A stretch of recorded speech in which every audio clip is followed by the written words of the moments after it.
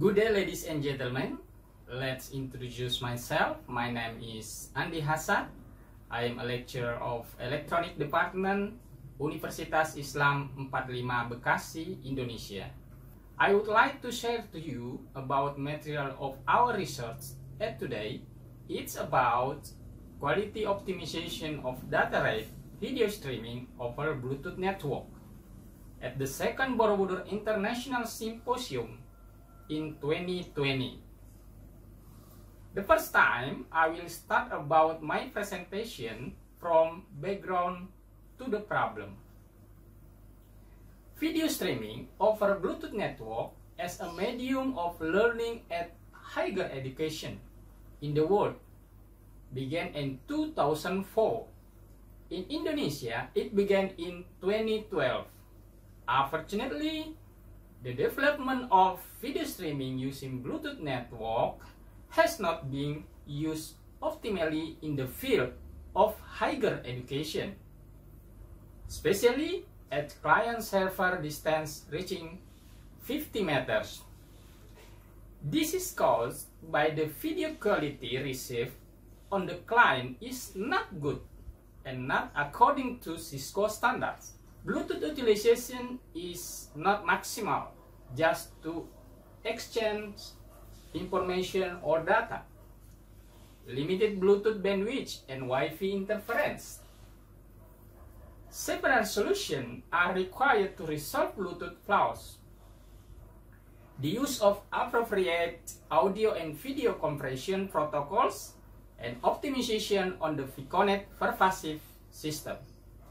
Previous empirical research of Piconet pervasive system point to point with packet loss greater than 5% not yet meets the quality of service video streaming standard, lens 5%.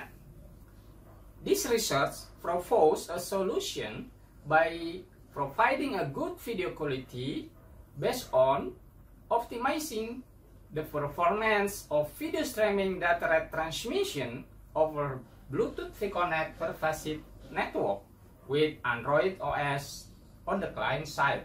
The research method includes several stages of research, including Piconet pervasive Bluetooth network system analysis, system design, audio-video compression, hint track, optimization, system testing, performance measurement, and analysis of measurement results, system optimization, and implementation. The first one, Piconet Pervasive Bluetooth System Analysis. The pervasive Piconet system is a Piconet system that connects two different devices so that the existence of this different device is at this step, identification of the needs of the Bluetooth Piconet pervasive network system. Needs identification is based on literature studies and literature on hardware and software needed during the research. The second, system design. At this stage, prototype design and construction is carried out for Bluetooth connection from the computer server to the cellular telephone as a client. The third, audio-video compression. The compression process is used to reduce the video data rate. Data must be compressed before sending it via Bluetooth network. The compressed data consists of two parts, audio-video, including frame, size, frame rate, codec, audio rate, sample rate, and channels. The four, hint track. Before the video is sent, the hint track process is first done so that the video can be run or played on the client video player. The hint track process is needed to give information to the video so that is ready to be sent and can be recognized by the client. The fifth, optimization. This stage has done when the system can work but has not yet produce the expected value based on Cisco standard video streaming QoS. Optimization on the server has done by tuning up the software to maximize performance. While on the client side, optimization was done by minimizing running background, while on the client side, optimization was done by minimizing running background, which consumes memory on cell phones. The sixth, system testing. System testing aims to determine the ability of the Bluetooth network as a video streaming media and to find out the quality of the video received on the client side. The seventh, performance measurement. The parameter used in measuring the performance of this Bluetooth network are throughput, delay, jitter, and packet loss. Measurement on these parameters use capture network traffic. Next about research result. In the research results, we can see the value of packet loss parameters obtained has the highest value of 4.97% and the lowest of 4.88% with an average value of 4.92%. In environment that has Wi-Fi, the client server distance 50 meters. That is by doing optimization to get the best performance on the Piconet pervasive system. And the graphic show if the environment has a larger interference value, then the throughput value is smaller. If the environment has a larger interference value, then the value of the delay is greater. If the jitter value approach zero, then the Bluetooth network is more stable.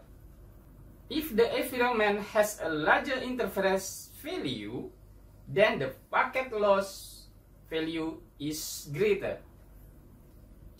This is about Ficonet for passive implementation, point to point and point to multi-point in our university.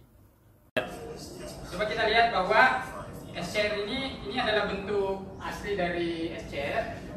Kita akan uh, ukur berdasarkan kaki-kaki yang ada di sini.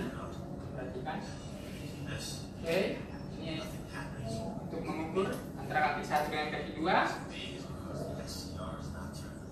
untuk melihat berapa nilai pada uh, pada kaki gate dan pada kaki anoda katoda kita gunakan di rangkaian elektronik sehari-hari maupun di industri. Oke, okay? ada pertanyaan? Oke. Ladies and gentlemen, our point main material of today is about the first one, all data of delay and packet loss which was obtained in this research have met Cisco streaming video standards. Its standard maximum packet loss is 5% for data rate 0.8 megabit per second. The second, the value of packet loss parameters obtained has the highest value of 4.97. The second, the value of packet loss parameters obtained has the highest value of 4.97% and the lowest of 4.88% with average value of 4. 92%. In environment that has Wi-Fi, the client server distance 50 meters, that is by doing optimization to get the best performance of the Piconet pervasive system. The results show that the greater the interference of Wi-Fi on the Bluetooth Piconet pervasive network, the quality of video received by the client or mobile phone decrease. Marked by the increasing value of the average packet loss of time during the video streaming. The result of this research has been implemented as a learning media in college based on Bluetooth technology that is low power, low cost, and easy to use. That's all. Thank you.